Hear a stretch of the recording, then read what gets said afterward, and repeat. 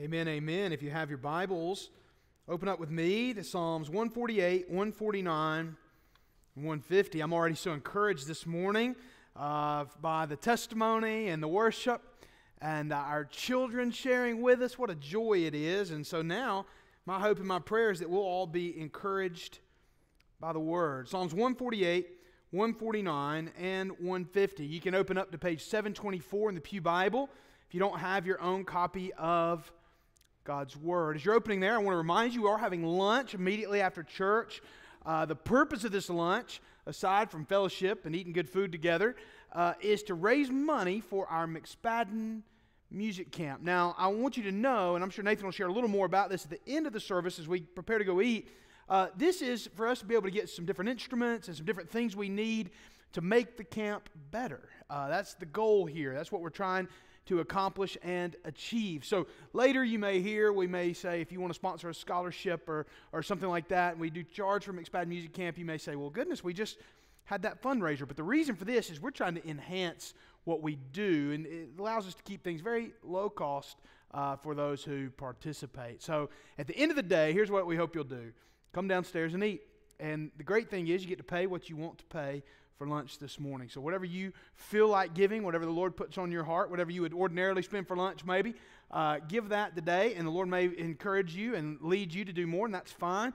But we'll be down there eating. I want to say one other word to our guests about lunch. I know we say it's a fundraiser lunch, but we want you to know that we would love for you to eat with us this morning under no obligation whatsoever to spend anything. We'd love uh, to give you, and if you want to, that's fine. We won't, trust me, Becky will probably be taking up money. She won't turn any away. But the, the reality is, we would, uh, we would love, we would love for you to just be our guest this morning, not worry about that at all.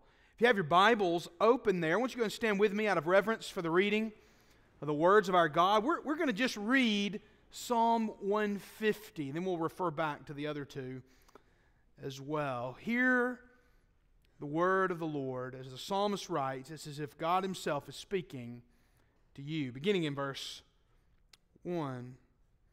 Praise the Lord. Praise God in His sanctuary. Praise Him in His mighty heavens. Praise Him for His mighty deeds. Praise Him according to His excellent greatness. Praise him with trumpet sound. Praise him with lute and harp. Praise him with tambourine and dance. Praise him with strings and pipe. Praise him with sounding cymbals. Praise him with loud, clashing cymbals. Let everything that has breath praise the Lord. Praise the Lord. Let's pray together. Lord, today I ask you, would you open our hearts and minds to receive your word and to be changed by it? God, will we be a people of worship? It's in Christ's name we pray. Amen. You may be seated. I was new to being a Baptist and new to being in a youth group when I went on my first youth retreat to the Chattanooga Choo Choo. And uh, it was pretty cool. It was a pretty exciting thing. We got on a bus, we rode down there, and it was because I was, this was the 90s, and I'm an evangelical Christian. It was a true love waits retreat. Now, at that point in my life, I didn't understand all the things I was going to go through that weekend. But I went through a lot that weekend. It was an experience, and I was baptized there into the world, not literally, but baptized into the world of 90s youth group culture. Something I wasn't used to, I was new to it, and we went to the first worship service while we were there. And this was a worship service unlike any I'd ever been to in my life. It involved a band. Everybody's getting nervous now, starting to sweat a little bit. It involved a band.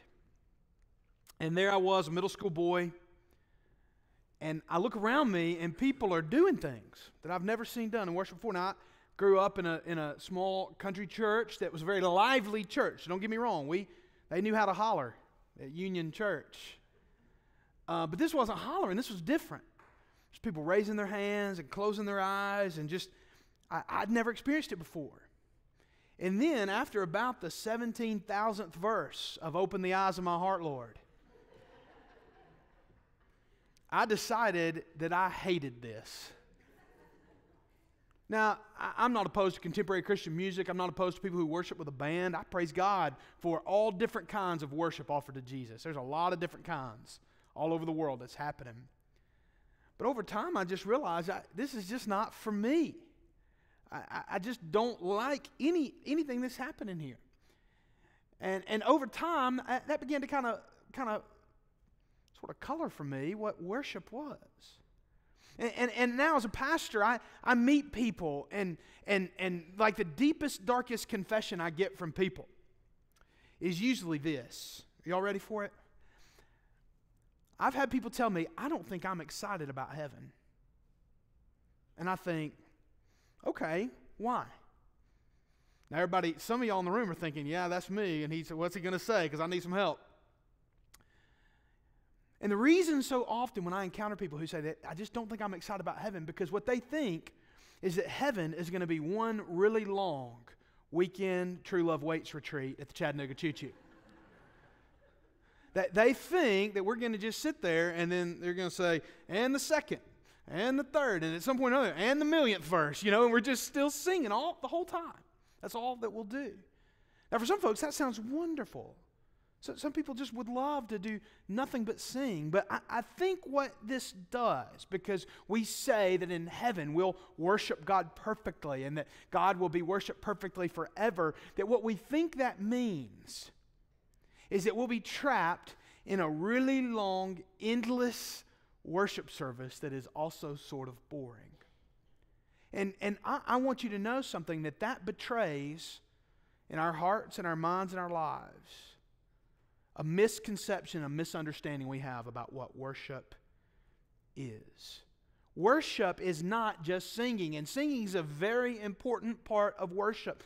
I think we do it in a beautiful way and a very much not boring way here every Sunday. I love it. I love what we do. It's engaging, we've got good content, it's important.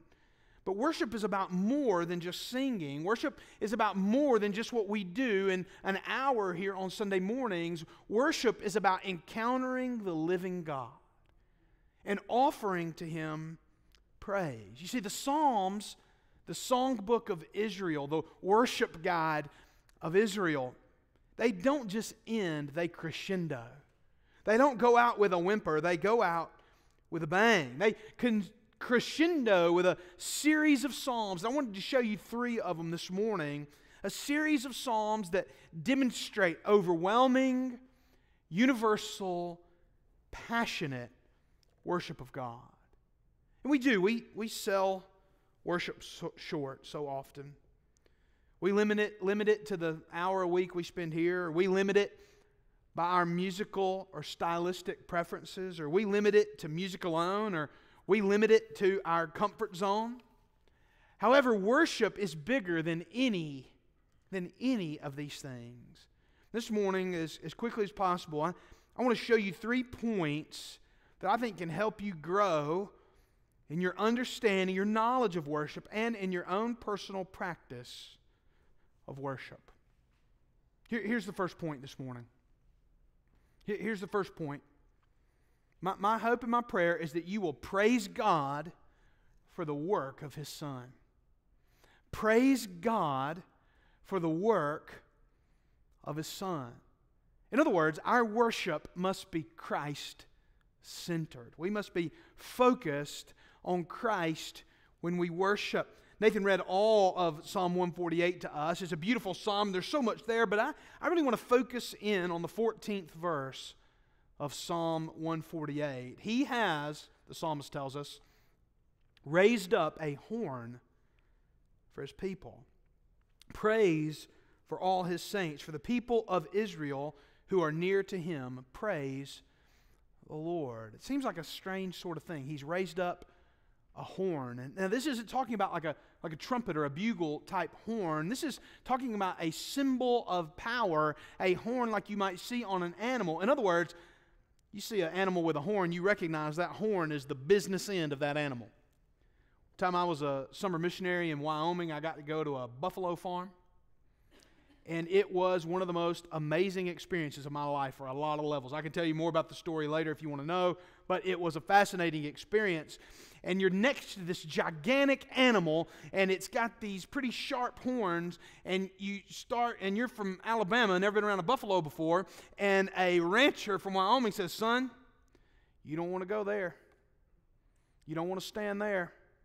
With this test we're about to run on this buffalo, I'm telling you, he can He's one shake of his head away from uh, sending you to the hospital and maybe to the grave. In other words, you don't want to be on the business end of a buffalo, right? You want to stay clear of his horns. And so, throughout the Psalms and really throughout the Old Testament, there's this picture of God demonstrating his strength and his power by raising up a horn. There's imagery throughout the Old Testament that will talk about the power and strength of a, of a pagan nation and talk about the horn of that nation. And, and this image takes on with it a connotation that God will raise up a person as his horn, as the demonstrator of his power and authority. It carries with it messianic overtones that God's people will have a horn whom he raises up, who will be a son of David, a, a descendant of the king, a powerful leader, a strong ruler. As Christians, we look back on this and we recognize that this horn, this Messiah, this leader, this ruler, is none other than our Lord Jesus Christ. And so if you look at the Psalms, I, I would argue that Psalms 1 and 2 open up with a description of the blessed man. And then Jesus picks up that similar imagery of what it means to be blessed when he uh, begins preaching and preaches the Sermon on the Mount. And then Psalm 2 refers very clearly to the Son who must be kissed and why do the nations rage and the ruler and leader of God's people. And so the Psalms open. Israel's songbook, the praise book of Israel, opens with songs about the Son and they close with resounding praise unto God. Why? Because God has raised up this horn for his people. What a beautiful picture we have then. That since the beginning, so long as God has had a people, He's asked them and encouraged them and commanded them to worship Him for the work that He is doing through His Son. All of God's people's worship has always been and will always be Christ centered. We must be the people who praise God for the work of his son.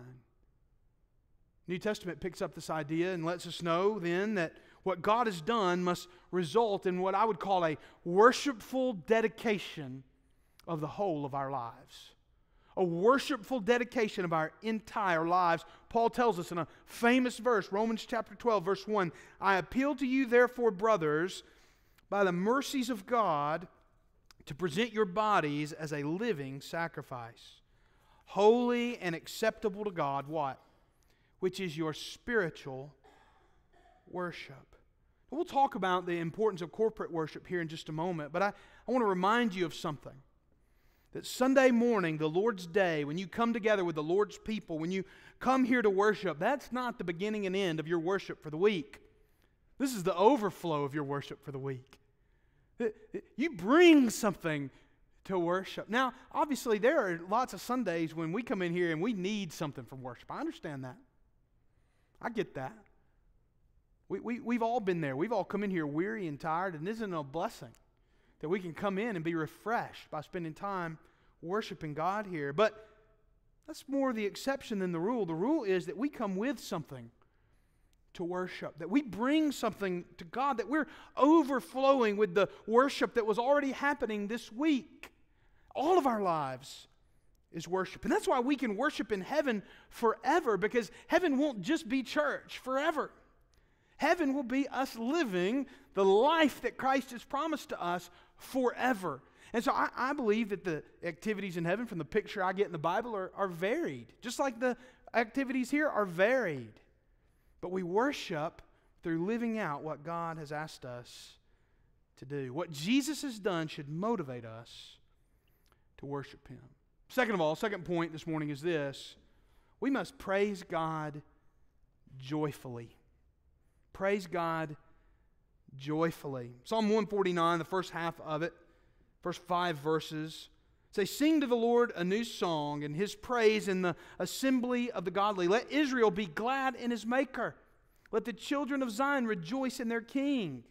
Let them praise his name with dancing, making melody to him with tambourine and lyre, for the Lord takes pleasure in his people. He adorns the humble with salvation. Let the godly exult in glory. Let them sing for joy on their beds. Another picture there in verse 5 of all of our lives consisting of the worship of God. But here's the reality do you see this exultant picture that's here?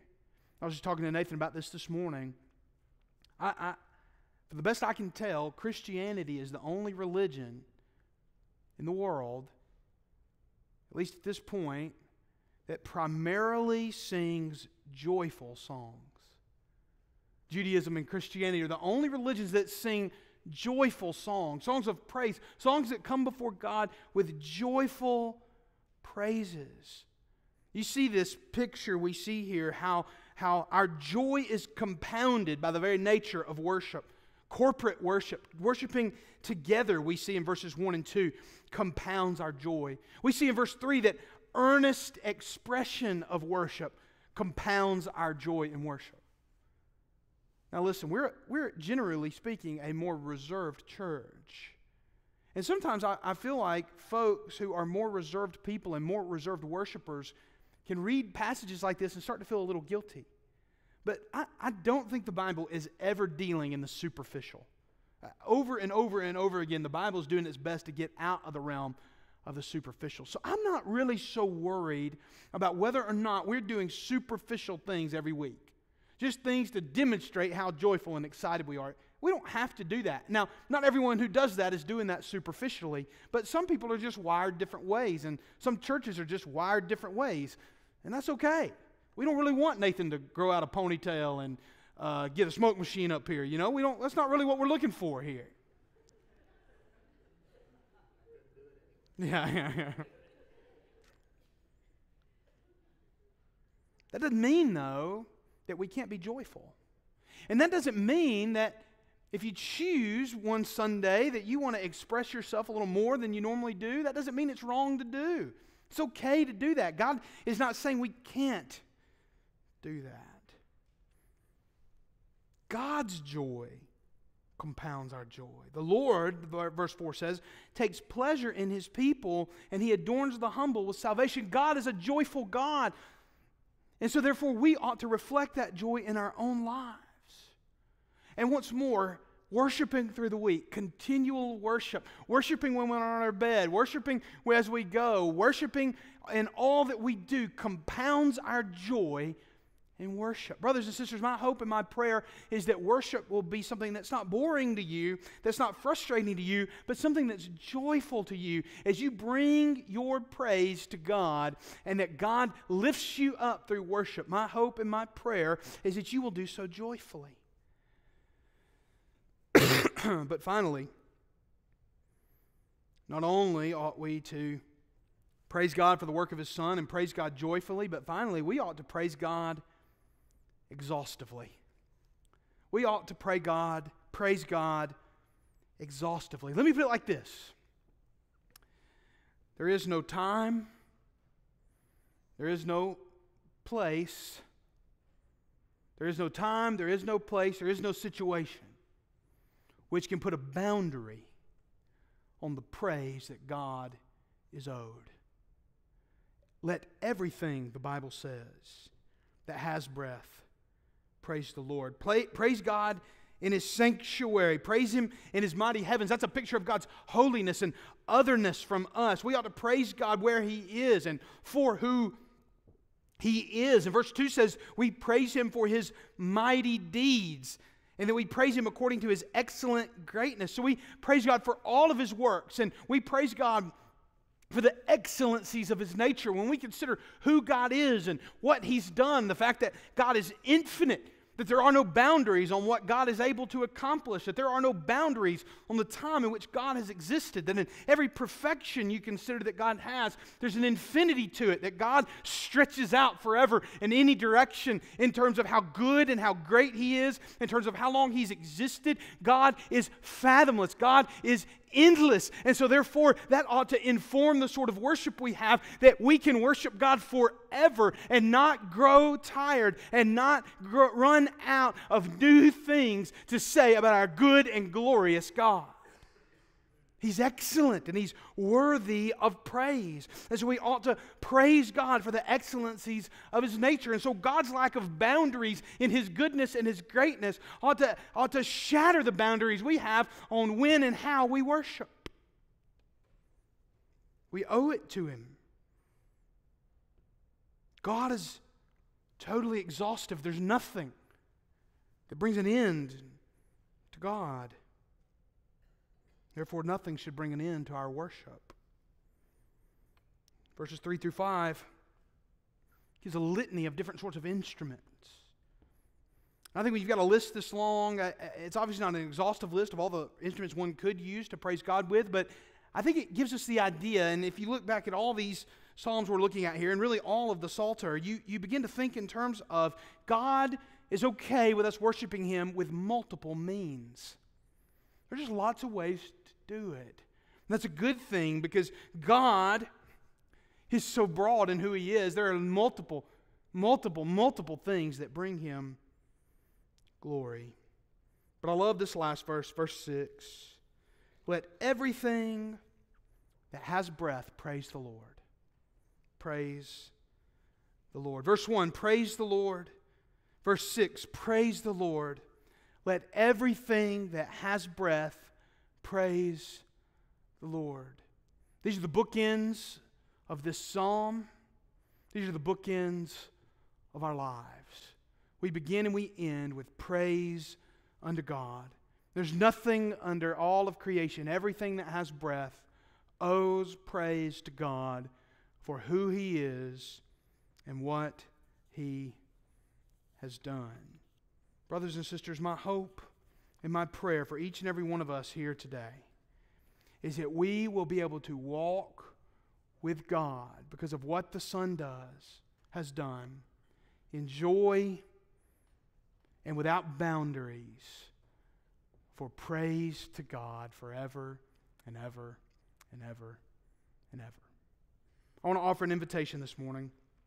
If you've never put your trust and your faith in Jesus for the first time, I'd love to talk to you today about what it means for you to be a Christian. I, I, I really believe with all my heart, if you'll turn from your sin and repentance and turn to God in faith through Jesus Christ, I believe He will save you.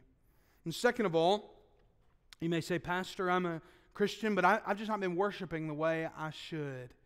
I'd, I'd love to talk to you this morning, pray with you, or if you just want to use this altar, it's open and available to you. And finally, you may be looking for a church home.